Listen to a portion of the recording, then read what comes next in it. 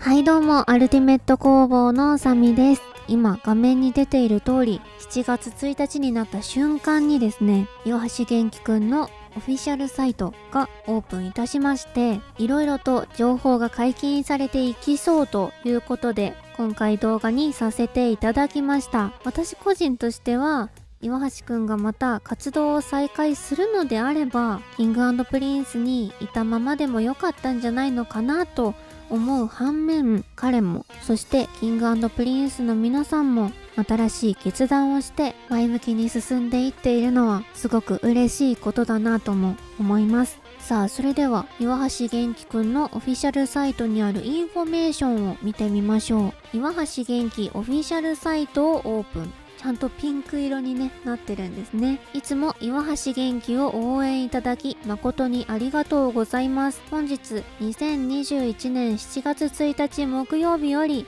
岩橋元気オフィシャルサイトをオープンいたしました。岩橋元気の最新情報をいち早くお届けしてまいりますということですごく嬉しいですね。はい、こちらにはプロフィールが載っています。岩橋元気、生年月日1996年12月17日、出身地は東京都で、多分このライブっていうところには今後何かしらの映像が追加されたりもすると思うんですけど、ファンクラブっていうのもね、できるみたいですね。まだ文字が光っていないので、ファンクラブにアクセスすることはできませんが、またファンクラブの受付が開始したら、私の動画でもお知らせしようと思います。コンタクトを押してみると、岩橋元気へのお仕事のご依頼、岩橋元気の活動に関するお問い合わせ、主催、出演、素材使用のご依頼などは、こちらからお問い合わせください。こちらは企業さん向けですけれども、お問い合わせに関しては、平日12時から17時、まあ、こちらが営業時間になってるみたいですね。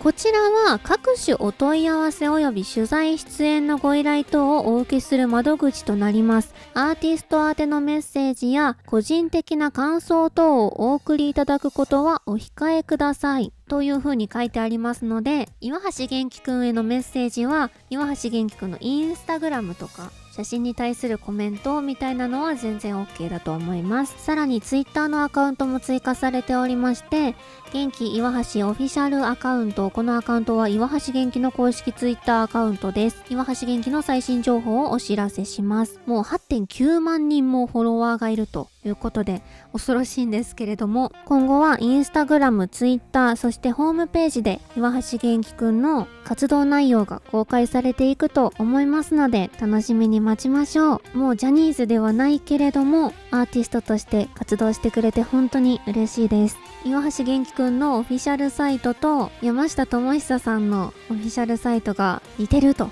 いうのも話題になっていますね。はいこちらが岩橋くんのページでこっちが山下智久さんのページです。そしてですね私もすこぶる動くうさぎのスタンプを持ってるんですけど岩橋玄樹さんがインスタグラムですこうさのスタンプを使ってくださいました。ありがとうございます。ってここですね。ポケットからいわちですのこの写真のこれ。これめっちゃ可愛いのでおすすめです。玄樹くんのオフィシャルサイトのアイコンがルマンド色なのはプリンスプリンセスの世界観が大切に引き継がれてるからなのかななどと妄想が止まらない朝です。わかります。めちゃくちゃわかります。だってプリンスプリンセスの歌詞をすごい大事にしてくれているのは投稿からしてわかりますからね。ダッフィーよりダッフィーな玄樹ちゃん。いやこれマジで可愛かった。ちなみに私はここにランドって入れました。はいということでもう皆さんご存知かとは思いますが岩橋玄樹くんのオフィシャルサイトがオープンしたということ。を嬉しくて動画にしました。ティアラでありながらも岩橋玄樹くんのファンであることには変わりないのでこれからも応援していきたいと思います。それではまた次の動画でお会いしましょう。